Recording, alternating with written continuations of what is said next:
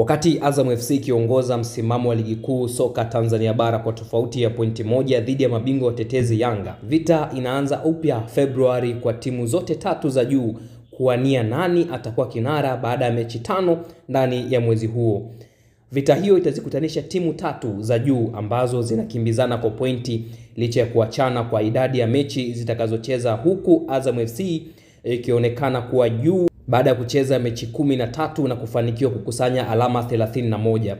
Katika msimamo huo, watani wa jadi Simba na Yanga wanafuatana ambapo bingwa mtetezi amekusanya pointi 30 baada ya kucheza michezo 11 huku Simba akiwa nafasi ya tatu baada ya mechi tisa amekusanya alama 23. Vigogo hao wa Simba na Yanga mapema mwezi ujao watapishana viwanjani kusaka pointi 15 zitakazowahakikishia nani ataongoza msimamo wa ligi huku vita nyingine ya timu zilizo katika nafasi mbaya kwenye msimamo ikiendelea baada ya usajili uliofanyika wakati wa dirisha dogo lililofungwa Januari 15.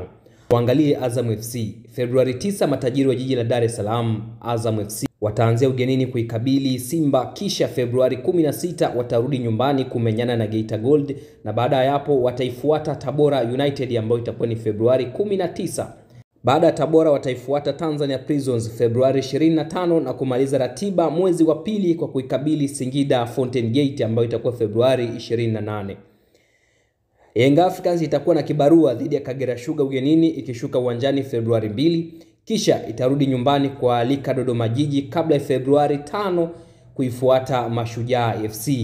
Mechi nyingine za Yanga za Februari zitakuwa ugenini zote ikianza kwa kuifuata Tanzania Prisons Februari 11 na kumaliza na KMC ambayo iliifunga mabao matano sifuri katika mzunguko wa kwanza Februari 17.